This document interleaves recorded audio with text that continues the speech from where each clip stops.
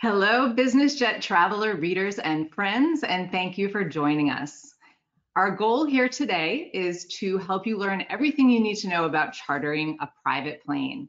You may be considering it for the first time, or you may have already taken several flights. But either way, we hope to be of service to you today. And our hope is that at the end of this webinar, you could book a, your first charter flight as early as this afternoon. So, um, and quickly before we start, I just want to give a few reminders. One is we will be sending you a recording of this webinar as well as a copy of the slides tomorrow. Um, and also as you leave, you will see a short survey and I know time is tight, but if you do have the time to fill out that survey, we would appreciate it very much. And most importantly, um, please ask questions throughout the um, presentation. We will answer them as they come in. And um, I want to emphasize that when it comes to flying privately, there is no such thing as a stupid question. Every question is valid. And um, if you're thinking it, there's probably 10 other people who are embarrassed to ask that question. So please ask it. Um, we will see as we go on through this uh, webinar that asking a lot of questions is actually the most powerful tool that you have when it comes to um, business aviation or getting started in business aviation. So before we start, we're just going to start with a poll. Um, and the question is, when it comes to charting an aircraft, the area where I have the most concerns and questions. And Charlie, it looks like people yeah. don't know who Paul, I don't understand how the pricing works. We're going to go over it. I can understand that. yeah, pricing is a really big question, and we have focused on that today. It's a bit of a how long is a piece of string type issue because uh, transparency is the big the big um, issue that has to be resolved there. What's included, what isn't. That's correct. And um, you know, it's just it's not it's not as easy to figure out. Obviously, yeah, looks like looks like pricing is the number one concern there. Don't know who to call. We're definitely going to be addressing that and how to call them. Yes, how do we know if a company is legitimate? Very reasonable question. Yes. Okay. Well, um, Let's get started. I am excited to welcome my BJT colleague, Charles Alcock, to this panel. And together we would like to welcome Per Marthinsson, CRO and co-founder of the Avinode Group, and also Michael Ryan, who is a frequent charter customer and owner of AirPSG. And you actually might even recognize Mike's byline. He has written a couple of guest articles for BJT that were very popular so we're very excited to have both of you gentlemen here with us today. Thank you so much for taking the time. Um, this, just in case anybody isn't sure, this is how you ask questions to connect with our panelists. You just use the question box in the control panel. All right, so Charlie, let's begin. Um, we're seeing many people who are entering the space flying privately for the first time because of the pandemic, actually. Um, this is a, it's understandably overwhelming and intimidating. There are tons of options available. Um, so can you get us started? Yeah, absolutely. So first of all, the good news is there is fantastic choice out there. There's there's a, a dazzlingly large array of companies who can provide you with a private flight. The question is, how are you going to access them? And in some respects, this comes down to what type of a consumer are you? Are you the person who just wants to express your desire and have somebody else figure out all the important details for you? Or are you somebody who thinks, actually, I know best and I trust my instincts when it comes to shopping around for, for any type of service or, or commodity?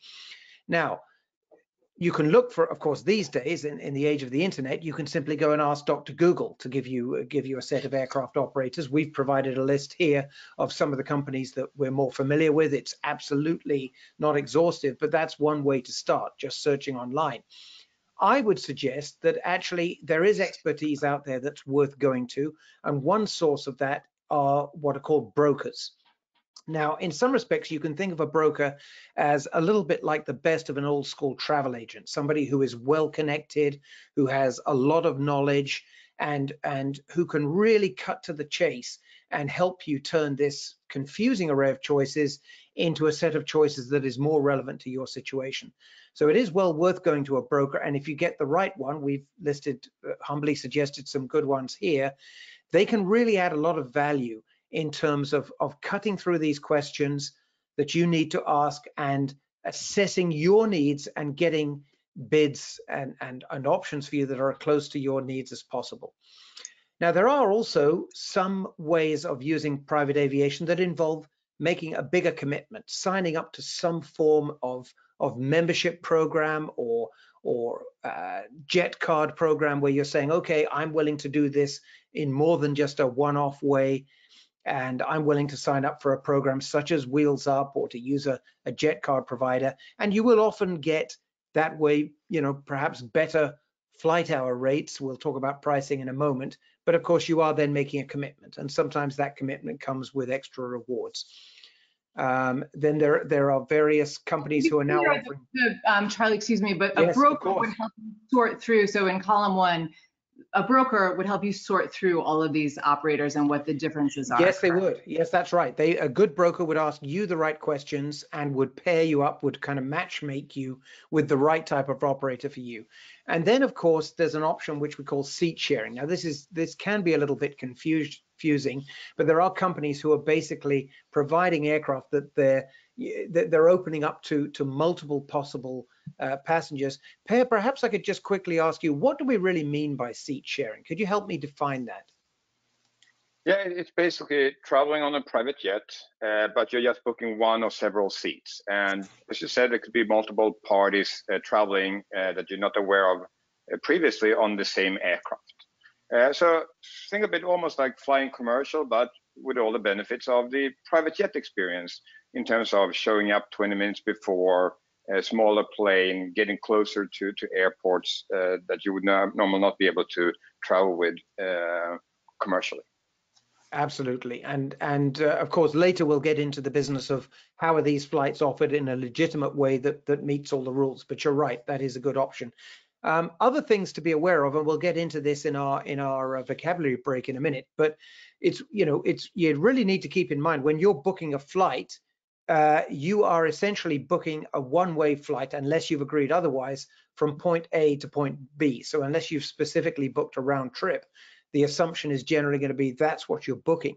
So then comes the question of well, who's playing paying for the aircraft to return to wherever it was that it started? And I think it's fair to say that generally speaking, that's going to be you unless you have, uh, you know, explicitly made some other arrangement. Um, and that brings into question the, the possibility of so-called empty legs, which can be a very good value proposition.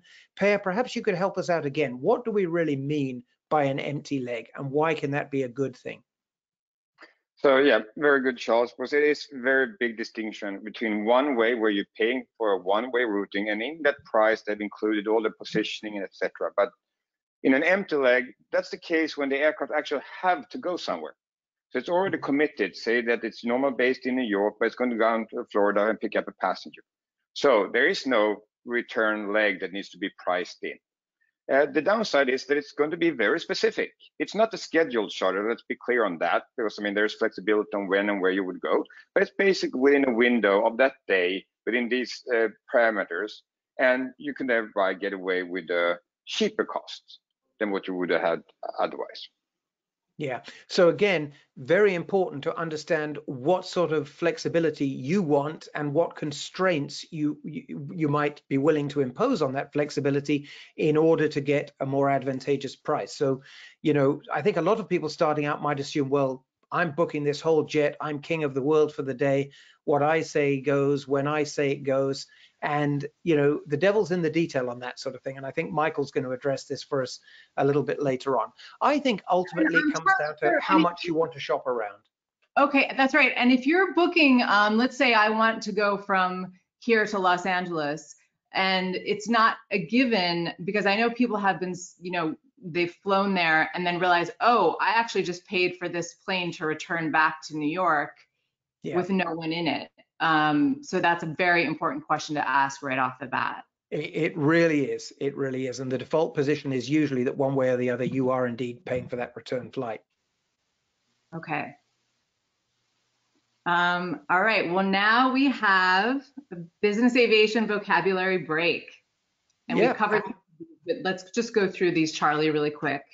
Yeah, so one way, I think we've covered that fairly well. That's something most people can understand. Empty leg, we now know, is essentially a, a flight that is just there to to move the aircraft, you know, back from where it came from or where it's got to go next. And as Per mentioned, there are opportunities there to to grab one of those flights and perhaps get it at a better rate than would otherwise be the case. Provider. This is one of those words that's just bandied around. And what on earth does it mean?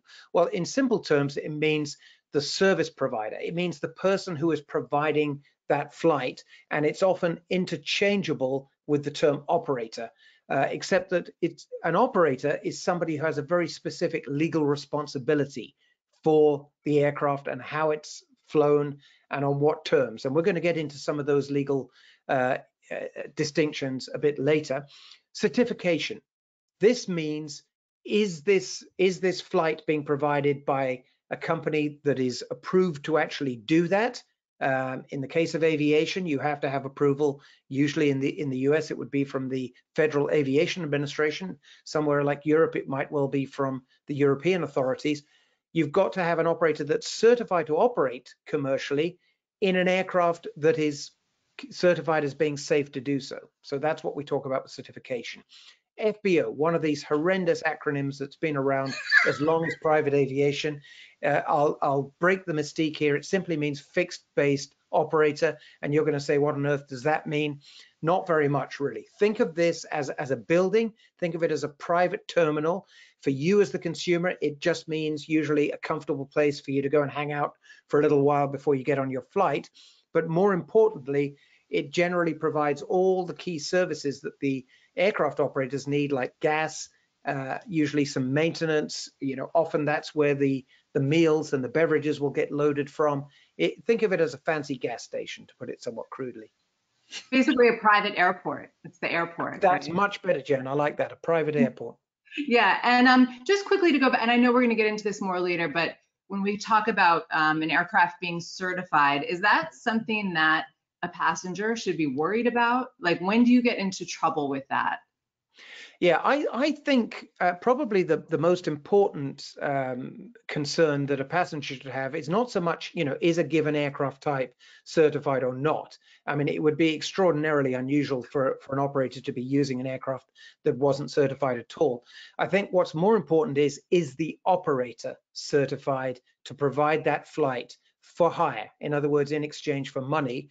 And is the maintenance organization that that makes sure that the aircraft in question is safe and ready to fly, certified to do that maintenance. In other words, are there any corners possibly being cut? You know, is this an operator that isn't really approved to do what it says it's going to do? And is it perhaps not backed up by people who are approved to do what they've got to do? Uh, and this is one reason I have to say where for peace of mind, you might well want to start with a broker because a good broker should make it his or her business to check all those boxes for you and not leave you worrying about it. Okay, excellent. Um, all right, so Mike, now we finally get to come to you, the actual passenger. Mike has um, many hours and lots of experience, mostly for business purposes, flying privately. Um, I don't know, Mike, because you maybe think back and remember the first time you flew privately, and I'm hoping we can get into your head a little bit and if you can remember, like what were you worried about and how did it go and how did you get to the airport and then what did you do, etc. Well, I'll, I'll, be very happy to answer those questions for you. Um, I was thinking about the uh, the first charter trip that I took, and I did arrange it through a broker. And he took me by the hand and led me through the process, and he answered every question that I had. And uh, we actually became pretty good friends after that.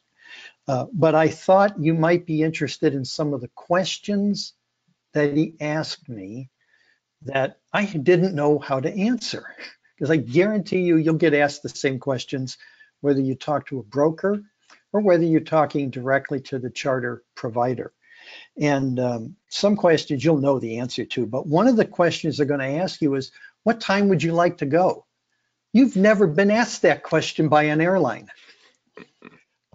And and the, and you'll stop it. It'll take you for a minute. It's Like, well, how do I know when I want to leave? I don't tell how long it takes to fly there. so the way you answer that question is tell them what you know.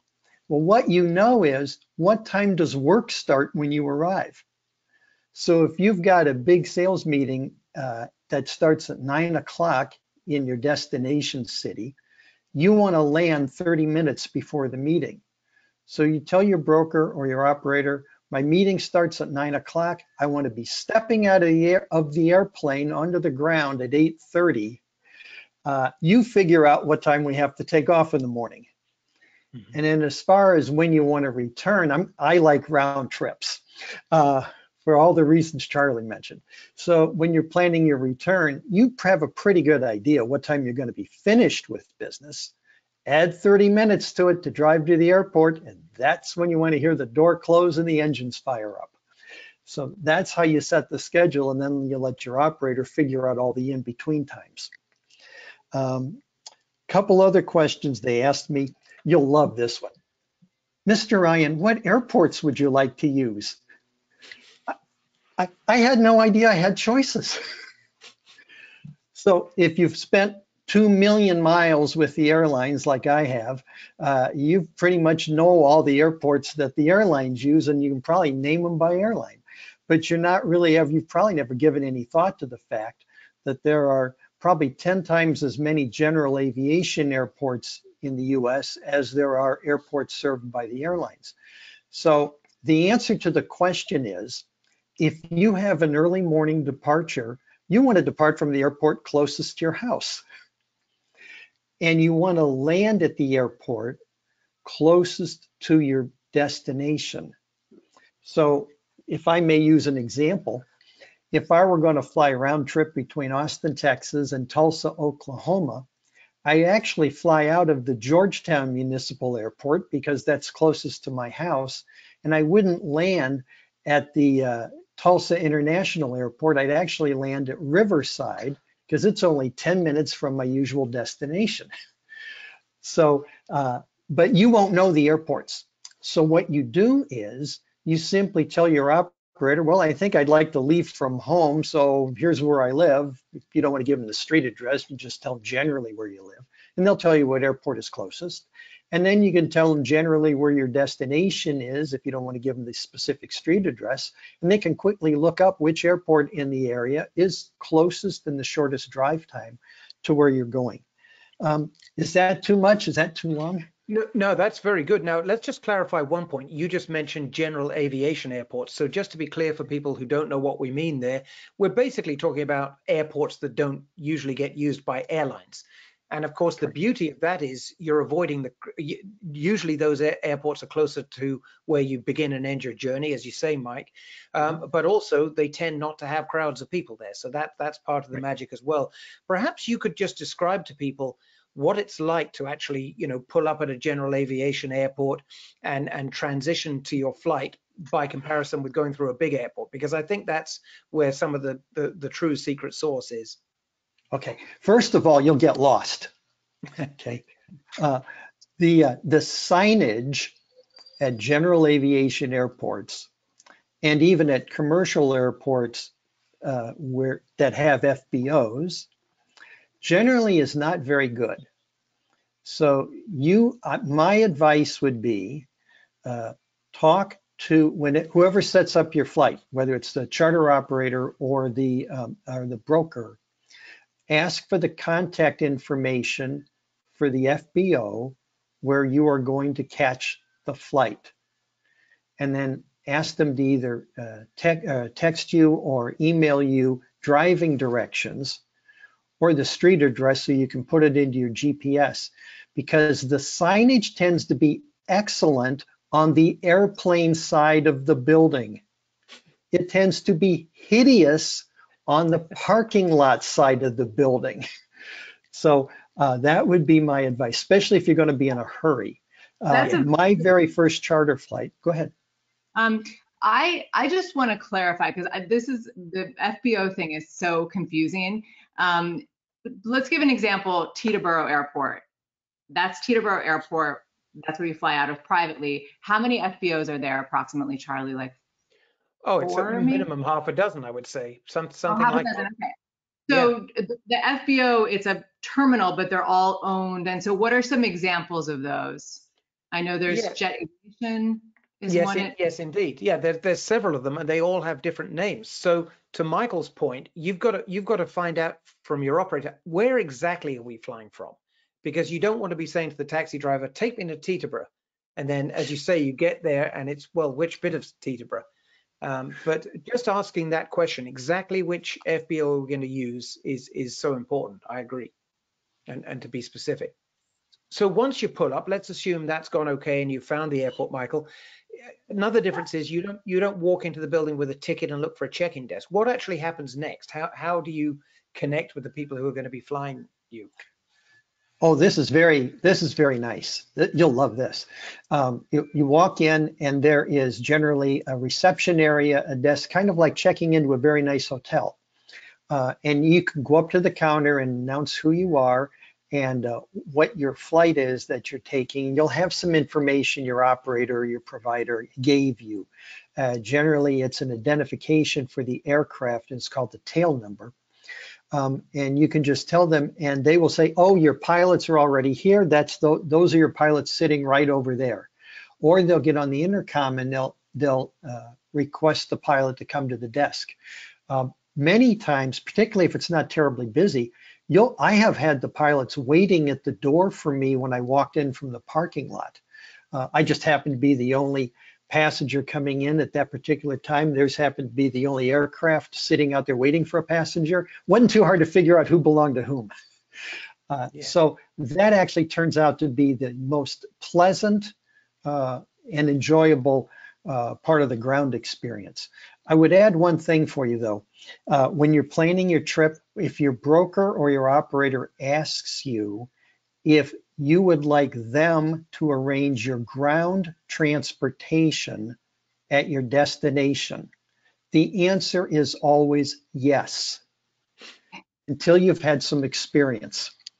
And the reason you want them to do it is if there's this, what they really do is they get a hold of the FBO at your destination and those people are arranging the ground transportation, but more importantly, they're monitoring your incoming flight uh, on various software tools.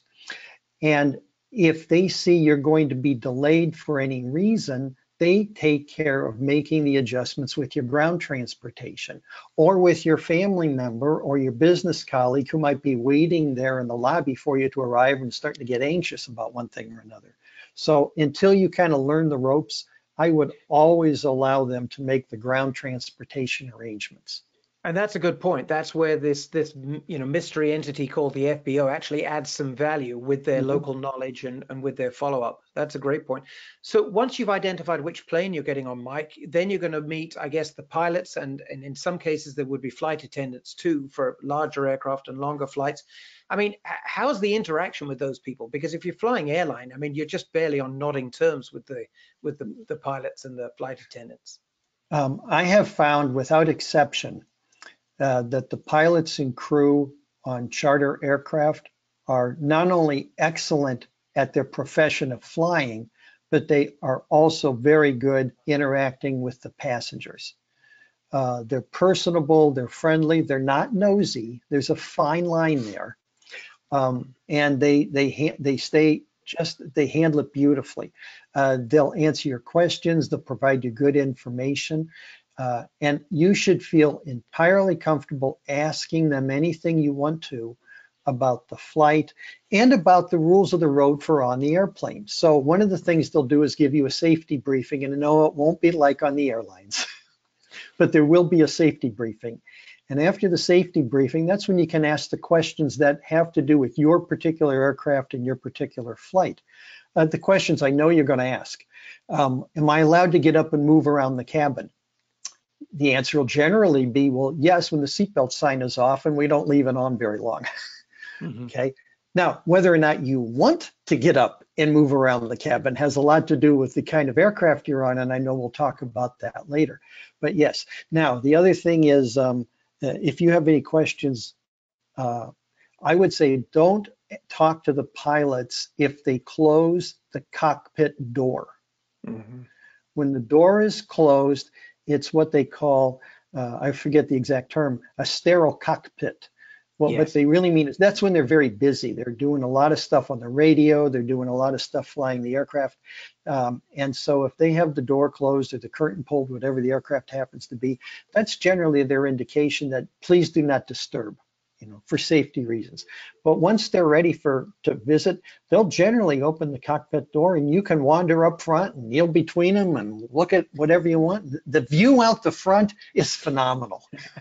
Uh, Yeah. you definitely want to have a view out the front. It's your plane while you're on it. Go look out your front windows.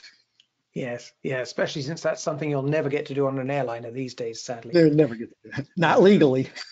Yes, that's true. Interesting, interesting. Now, um, Michael, how often have you kind of gotten on a on a on an airplane that you've booked and sort of thought, oh, this isn't quite what I thought it would be. It's it's perhaps a bit smaller than I thought, and or uh, have you ever had any surprises, either either pleasant or otherwise? And how does that inform your behavior as a consumer when it comes to making choices? Um, I've not been surprised by the interior of the aircraft or the size or anything like that. Uh, mostly because I had some experience in corporate life when I was a junior executive and the company for whom I worked had a flight department with three different kinds of aircraft. Mhm. So I already knew what a King Air was. I already knew what a light jet was, and I already knew what a G2 was.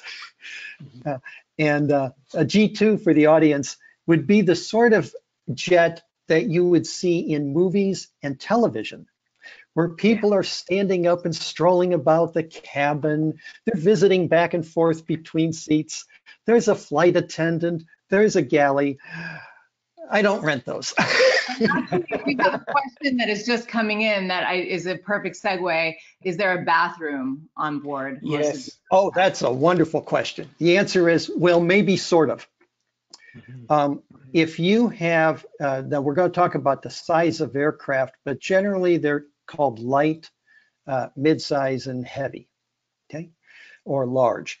Um, if it's a large cabin aircraft, meaning you can stand up and walk around comfortably, you don't have to bend over, your head's not touching the ceiling, there will be a lovely bathroom on board, nicer than anything you've encountered on any uh, commercial airliner if you have to kind of lean over to walk through the cabin and it's not the kind of cabin they show you on the movies, even if they show you the exterior of it, okay, there might be a bathroom, but whether or not you want to use it is questionable. And not because of cleanliness or anything like that, but it, it's not what you're going to be used used to. It may be considered more along the lines of an emergency escape route. Mhm. So uh, if if that is of importance to you, and I must say as I age, it becomes slightly more important. Um, if that is of importance to you, um, you want to have that conversation with the broker or the operator in the selection of the aircraft and in the length of the trip. So if you're going coast to coast and you want to go nonstop, you want to be in a in an aircraft large enough to have a walk-in uh, walk-in uh, move around comfortably bathroom. Uh, if you're going to be on a 90 minute flight, you probably don't care one way or another. Mhm. Uh, Right. So it, it has more to do with you and the length of the flight. Right. Yeah. Okay, great. That's a good point. Um, I wonder, Charlie, now, Per, can we, I, if we could just switch gears to you, um, will you tell us a little bit about your company, Avinode? Um, and I was, you, you have a lot of knowledge. I know it's, you, you aren't necessarily passenger facing, but um, I wanted you to give us some insight into some of the things that passengers really need to look out for when they're first booking a charter flight. What are some red flags? What, are, what do you recommend? Sure, very, would very much like to do that. And like everything else in this industry, there's a lot of stuff that happens behind uh, the scenes in order to for a flight to take off. things that the passenger don't see. And, and Avinode is, is part of that behind the scenes in that we are have 90% of the world's brokers and operators tied up to our platform where you can go in as brokers and operators to market that you have aircraft, match up trips, uh, source one ways, etc. But we are basically business for business. And in one way, we are also providing content for the consumer in that most of the apps you see out there that are uh, allows you to book online get parts or all of the content based on the data that we have have provided.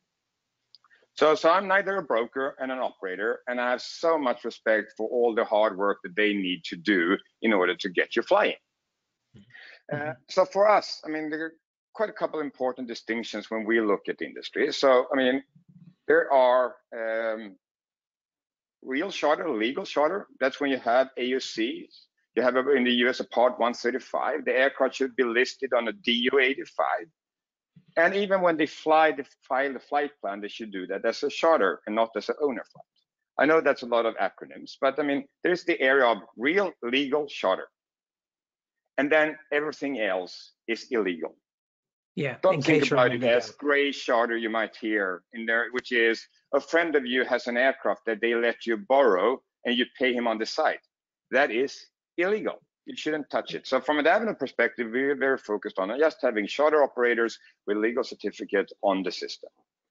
The, and yeah, that's one of those key distinctions on certification. That's one of those key distinctions. You just used a term there, AOC. Uh, it, it's very simple. A aircraft operator certificate, air operator certificate. It, it, if if a, if an operator doesn't have that, basically they shouldn't be flying you for hire. Is it that simple?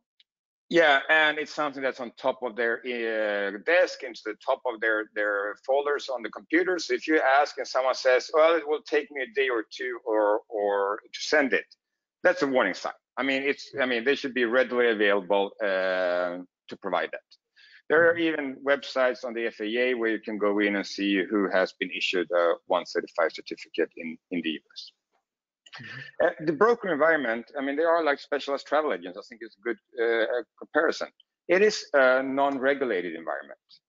So of course here we only want to deal with professionals and, and then it goes through a checklist of, of uh, making sure that they mark themselves, uh, that there's a real business behind it. But that's sort of where it gets to be on our perspective. And and just last month, there were 100,000 trips sourced, maybe not booked, but tried to match in the Avinode system. So that's sort of the scale at which we operate.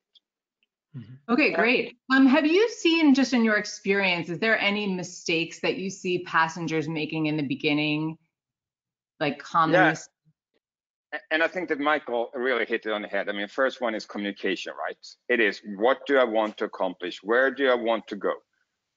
Assume that everything you know about air travel from travel commercial doesn't hold true. Yes. So, so it's no two hours ahead. It's 20 minutes. It's uh, easy to get on. I mean, it goes to where you need to uh, need to to be rather than the big airports. If you're chartering and it seems too good to be true, it usually is. I mean, don't get stuck on the price I mean, start a conversation and you will distinguish the, the, the best brokers from the maybe not as great in the way that they portray themselves and that they are there to help your life being easier. They are not there to make their commission and disappear. They want to make sure that you have a great experience. Safety is number one. And we'll talk about Argus and Wyvern, but there are they, these uh, companies provide data on pilots so that brokers can vet them. So, so make sure that you really are clear on what you ask for. Read the contracts. Uh, don't assume anything, and don't be afraid to ask stupid questions. Okay. Very good advice. All right. And so actually, now this is Charlie, the part that everybody's been waiting for. We're going to get into some costs. Um, and these are obviously uh, not yeah, exact. Take it away, no, Charlie. Absolutely. Yeah. So what, what we did here was just just to give people some idea. Um, uh, we we came up with a couple of, of sort of hypothetical travel groups, and, and one here is is two people traveling strictly on business, and uh, we've basically priced out here a, a, same day round trip option, which by the sound of it is something that uh, Michael might do, and then a one way trip uh, between two airports, um, and we've given some examples here of in a way what Michael alluded to, that you, you might be traveling from cities that don't have a major air transport, uh, airline airport, if you like, somewhere like Springfield, Illinois, for example. Uh, and the point is by using those, you can avoid a pretty long ground trip to whichever airport you'd have to use to, to, uh, to fly with the airlines. And you'll see that there are quite big variations here, uh, depending on the, the type of aircraft that you're choosing to use. So for example, let's look at this one between Springfield and Detroit. Uh, you know, for a turboprop aircraft, so that's that's the one with the propellers spinning at the front. You, that might be $9,500. And for a light jet, which might not really be that much larger, uh, it's basically a couple of thousand dollars more. Th these are the sort of breakdowns uh, that, that you'll find, the sort of spreads in terms of size of aircraft and range of aircraft that's available. And I think in most of these cases, it's worth to point out, it says two. If you were four, you would probably still be comfortable traveling. It's Yes. not that it's going to be 22,800 in the first example. It's the price for the full aircraft. And these Thank are you. Very- very all-inclusive important remark. indicative Yeah. pricing. Yeah. And this, And I this is would- where it becomes such a value proposition. Yes, Michael, over to you. And, and I would point out a couple of things very helpful on this table. Um, both a turboprop and a light jet generally carry six adults very comfortably. When people tell you how many seats there are on an aircraft, there are the comfortable ones and the not comfortable ones. Uh, so uh, you, the fact that you are allowed to, that you will see things like, oh, there's a seat belt in the bathroom. Well, technically that's a legal seat, but who wants to fly in it? Um, uh, there are small side-facing couches on a lot of light jets and turboprops. Yeah, you could put two people on there, but they better really like each other. Um, uh, you want to know about how many captain's chairs or how many uh, club seating type chairs. You want to know how many real comfortable seats that tilt and swivel and move around are on the aircraft before you start thinking about whether it'll hold everybody. The other thing is notice in the third row of the table, if, if everybody can read that, the flight times. The turboprop takes an hour and 30 minutes. The light jet's an hour and 10 minutes. For the difference in price, you're only saving 20 minutes in travel time. Mm-hmm. So notice that as you read across between the, the different size jets um, and the travel times, that's worth keeping in mind. Yeah, good point, especially since you're going to be getting to an airport that's that's almost certainly closer to where you need to end up. So, you know, that that 10 minutes could amount to next to nothing. That 20 minutes even could amount to next to nothing. Okay. Um, okay, then this is the large group, Jen. So this was for a Yeah, family yeah. group. Yeah. Perhaps traveling on vacation. Uh, and as you can see, we've broken down several sample trips here. Um, but this is where the, you know, it, the detail really does matter. Um, you know, I, if you're traveling with a family group, really important, I would say to, to be clear as to what sort of baggage you're going to be taking with you. Uh, I think we've heard of some horror stories, haven't we, where, you know, a family showed up for, a, for you know, a, a family vacation and, and neglected to mention, oh, by the way, it's a skiing trip and we're going to have a bunch of heavy ski equipment that the operator wasn't ready for and hadn't factored into the size of the aircraft. So, Per, would this be an example of where, frankly, you do need to be clear as to exactly what you're going to be traveling for and, and what you'll need with you? Yeah, uh, definitely. And even that you're chartering a private jet, don't tell your cousin in the morning, join us at 10:30. Because if you show up with more people, there might Yeah. be issues. I mean, A, they need to get you on the passenger manifest, so you're probably going to delay it at 30 minutes at the, at least. Yeah. Uh, there might be that all of a sudden there's uh, you need to do a fuel stop or anything like that. Be communicating ahead of time uh, Yeah. if you want to have that smooth experience. And and brokers or operators, and just to be clear, most operators will help you out as well in, in, in case their fleet isn't available to find an alternative. So so, but they should be communicating, and you should be transparent what you want to achieve if you want to have a great experience. Right, and actually, um, there, there's, we have a question coming in, um, and I just wanted to flag this up. Um, two things. One is, you- I mean, you can show up 20 minutes ahead of time, but you still need to show up on time, right? Like just because you have, you can't just show up, you can't be five hours late and expect to take off. And Michael, I think you once had a you once told us an anecdote about a situation where you had sort of somewhat casually assumed that that plane was just going to be sitting there, you know, waiting for you to turn up. So I, I guess you learned the lesson that day that you have to be pretty specific. Yeah, I got lucky. Uh, we had booked a, uh, a light jet from Atlanta to uh, another city, and uh, the, the flight left at one o'clock in the afternoon. Um, all of my previous charter trips had left first thing in the morning and were round trip, so I had the plane for the whole day. And I just got to thinking in terms of I have the plane for 12 hours, which there's a regulatory thing around that. But as a rule of thumb, you've got the plane for 12 hours as a rule of thumb, but you have to check. I forgot to check. Well, as it turns out, I had the plane for 12 hours, but I only had the crew for six yeah. because they had flown earlier in the day and they have a maximum number of duty hours. So if the client where we flew to make the sales presentation had asked us to go to dinner, we would have been walking home. yeah, that's and I, think that, and I think that's a very good point, because especially now with the one-way operators that are flying and they tying trips together. That's how they are sometimes also compensate that you don't need to pay the return, right? You fly out to LA, well, they know that they have passenger from LA to Seattle. Then they'll have Seattle to Chicago. And over the course of three days, the aircraft made its way back to New York. Those business models only works if people show up on time. So read mm-hmm. your terms and conditions. They will give you some leeway, but if you're an hour late, the contract says they have the right to take off, and you're not getting any refunds. Mm-hmm.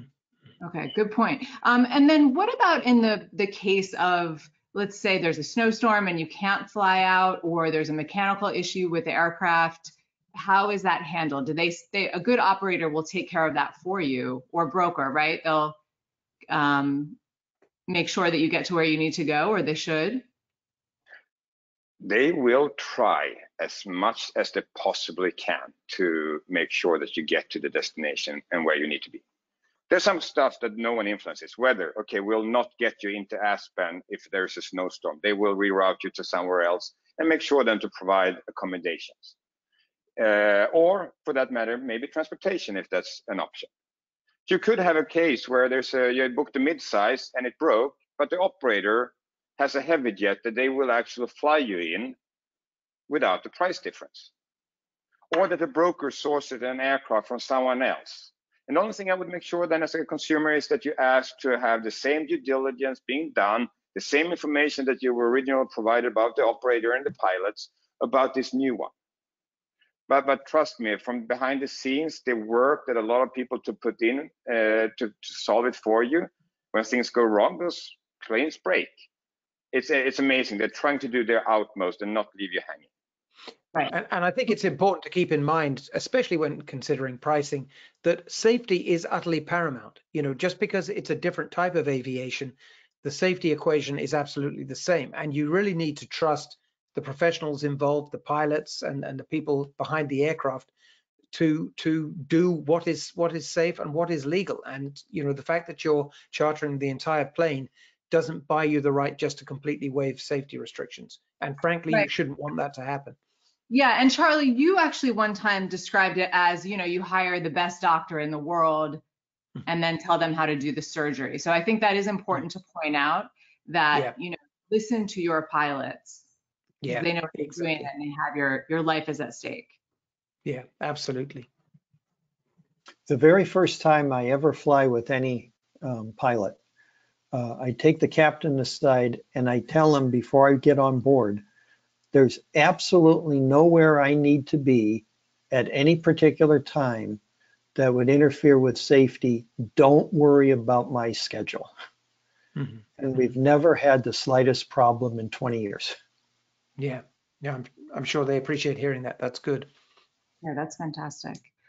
Um, okay, well, so just back to costs, there are sometimes some unexpected costs. Some of them are necessary some of them aren't. So I just wanted to flag these up for um, our viewers today. Um, Charlie, can you maybe go through some of these? Yes, absolutely. So some of these are what I would call technical issues, things things that have to be done to make the flight safe. One of those would be de-icing.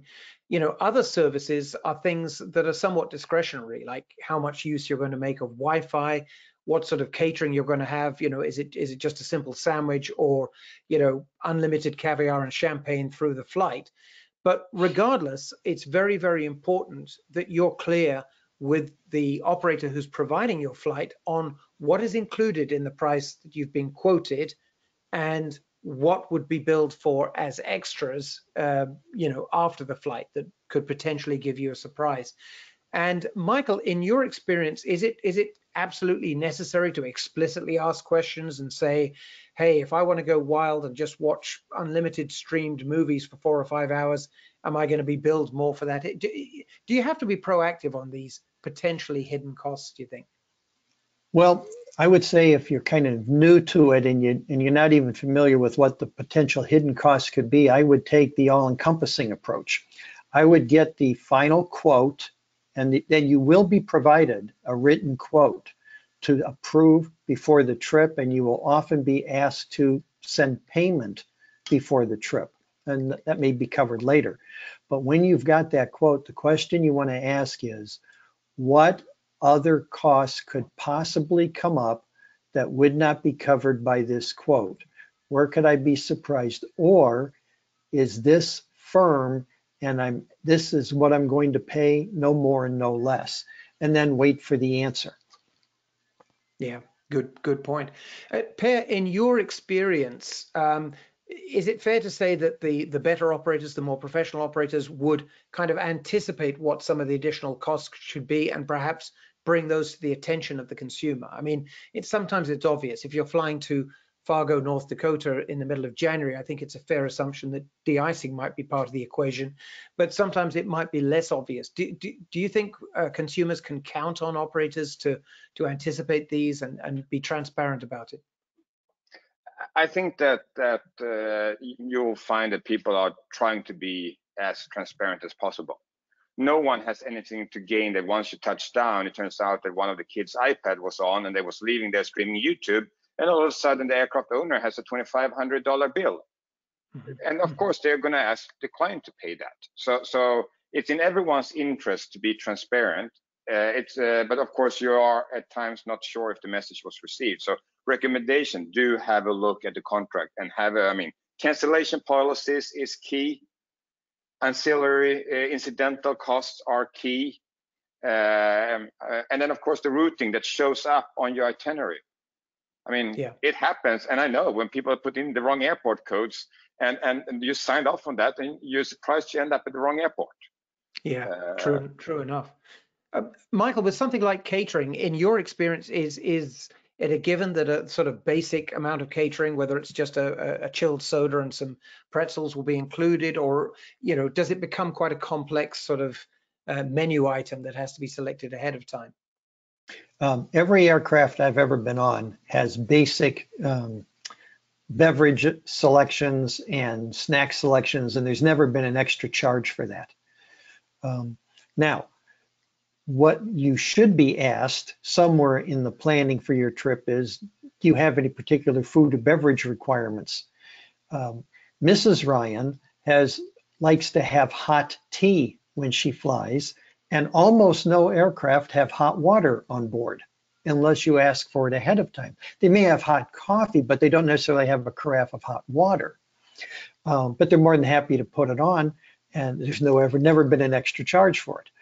Um, if you have a particular, uh, if you like alcoholic beverages, you're and you want some on the flight home, um, your operator may or may not include some at no extra charge. So that's something you want to check out. Uh, but as far as food, as opposed to snacks, uh, food always costs extra. Yeah, good point. So just just be clear on that. And we, we're and, mentioning. And don't be surprised. Sorry, don't be surprised at what the pricing is being shown. Mm-hmm. Uh, a cheese sandwich will easily run in fifty dollars, and that's not that they're trying to to like make money on the cheese sandwich. It's just I mean, everything gets custom made and it's not the mass production, right? So it needs to go from a kitchen to the FBO, be at FBO, and, and then of course tailored to you, put on the right plane, etc. So so catering can become expensive, Yeah, or But- very not good point. cheap at least. You, you can save a lot of money. And here's how, if, if we have time. Go ahead. Yeah. Oh, well, I was, I took a jet once from Austin, Texas up to Indianapolis and I, it was an early morning flight and I wanted to have breakfast on board. Well, the, the pilot uh, who was taking care of that took a look at what it would cost to cater breakfast. And he told me when I got on board, Mr. Ryan, we did not cater your breakfast. My wife went out and got some for you. And and I had a better breakfast from what she picked up for me at the grocery store uh, for about 10 bucks than I would have for the $50 breakfast that the flight uh, kitchen was going to charge up in Dallas before the plane came down to Austin to pick me up. Uh, and when Mrs. Ryan and I fly, we just bring our own sandwiches and stuff aboard because if you're in a turboprop or a light jet, the best you can hope for for catering, whether you do it yourself or have it done, is is a box lunch or something on a platter. There's there's no flight kitchen on board. There's no galley on board. So if you're going to end up eating out of a box lunch or a platter anyway, maybe you just stop at Panera Bread on the way to the airport and pick up your lunch. Good Um, tip. On, on possible possible unexpected costs, a good question just came in, Jen. I just saw somebody's asking about tipping, and that Yes, hadn't I really crossed my going to mind mention that. Um, because you're yeah, here. You are in I this mean, situation with pilots. and we have some things to go through, but I mean, um, I, I know that tipping, that's not something people want to have to worry about, but I mean, generally, Per, do you think it's a good idea to tip the crew? Or is not, is it appreciated but not expected? And Mike, what, what have, what is your, because I do think sometimes in a situation like this, you don't know, Mhm.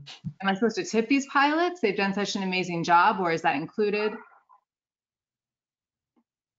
Well, I will hand over to my view on this is my view on this has changed over the years. Um, I actually wrote in an article once not to tip the pilot, and I heard from many pilots, uh, but I heard both both sides of it. I, I heard from as many who agreed with my position as disagreed. I think what you want to think of in terms of the way Jennifer presented it is exactly right. Um, feel free to give an appropriate gift uh, money uh, to your crew if they've done something that you know really made you happy. Uh, but tipping in the sense of like tipping at a restaurant in terms of like a percentage, no, no, nobody expects that. Uh, n- nobody does. But everybody appreciates uh, something that shows your appreciation uh, for what they've done for you. Uh, but it's entirely up to you, and it's really flight by flight. Yeah, good point. Good point. And equally could be how someone at FBO could have gone above and beyond in Mhm. servicing your accommodations. I mean, maybe you forgot something somewhere and they ran and, and, and bought it or, or figured something out. So Yeah, good point. Jen, just quickly on costs, very quickly, two other points on this list are, you know, whether you had one pilot or two pilots or a flight attendant. You know, again, these are assumptions that people might make because they're used to there being two pilots in an airliner, they're used to there always being flight attendants. But Per, from your point of view, are, are these things that are maybe not just a given, that in some cases it's perfectly legal to have one pilot, so you better speak up if you really want to have two, and there could be extra costs there. Is that a factor? I mean, there are certain scenarios where you could have single pilot operations. And then, of course, you could ask for it to be with two pilots. In most cases, with what the 135 flighting uh, that we're doing, it, it's always going to be two pilots. You could, and some people do, have a restriction that they want a minimum of, of two captains uh, rather than a captain and a co pilot. There are some people that will always say that they also want X number of flight hours as a minimum. And, and if you require that, then it might be that it's a yes, certain aircraft or certain operator you fly with, you're sort of shrinking the pool. Uh, and those would be, be at additional cost. A flight attendant, I mean, not all aircraft have the capability to bring a flight attendant along. I mean, if it's a light and a mid-size, I mean, there, there's, I mean, it, no real uh, reason. If you have a heavy jet, I mean, an ultra long range, yes, there will be a flight attendant in most cases. and that will come at an additional charge. Fair but it's going to be spelled out on the quote and, and bundled in. And I think that nowadays what you're going to start seeing is that you get a total price rather than different breakdowns. I mean, if you go back five, six years ago, it would be a list line item out of everything. Mhm. And they wouldn't charge you what it said there. They would charge you based on how many flight hours they actually had in the air. Now people are saying, here's the price. We'll get you from A to B for this price. Good point. Okay, great. Oh, wait, we have another BizAv vocab break. Um, Excellent. Quickly, let's just go through these. Yeah. Uh, What's the tail number, Charlie? Tail number. Okay, so that's how you identify the specific aircraft that you're on, and it's often used as a reference by the operator. It, it think of it like a, the, the tag on a car. It's it usually will begin. Well, it always I think will begin with a letter which identifies the country that you're in. So if we're talking the United States, it's always going to have an N in front of it, and then it will have a number that's the registration. Uh, we've got a reference here to NetJets. That's a very uh, famous company in the private aviation sector and they provide uh, options such as fractional ownership, which is a way of essentially owning a share of a nominal aircraft that gives you a right to fly a certain number of hours at a certain price over the course of a year. And they also provide jet card service, which is basically where you agree to buy a certain number of hours for usually a preferential rate. Right, and we, I just wanted to put NetJets up here because the brand is so widely known, but they're not. Absolutely. call it There are plenty of other good companies providing uh, variations on that theme. That's just a, an easy reference point. Wyvern and Argus, these are great companies. They basically provide a service where they're auditing the safety and quality of the of the operator, but most importantly, the safety. And this is a way that you can be certain that over and above the the, the legal requirement to be certified in a certain way, that these companies have an established set of safety practices that they're sticking to consistently. Uh, and in fact, the, the slide we've got up now, this reference is something that Argus provides. It's called a trip check. Um, and Per, perhaps you could explain this to us. What, what does this tell us and why is it a good thing if you're a consumer to see this?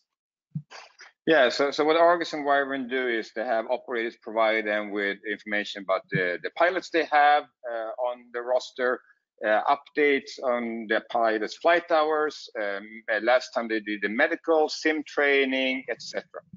Uh, and if you're working with a Wyvern broker or an Argus broker, that means that they are running for every trip. They put in the details. So in this case, uh, we see there's a flight departing July 25th where we see at the top that it, when it was run, an ID for this trip check, you will see the name of the operator. There could be cases when you have booked with company A, but, but it's operated by another certificate name. All of that information should be there.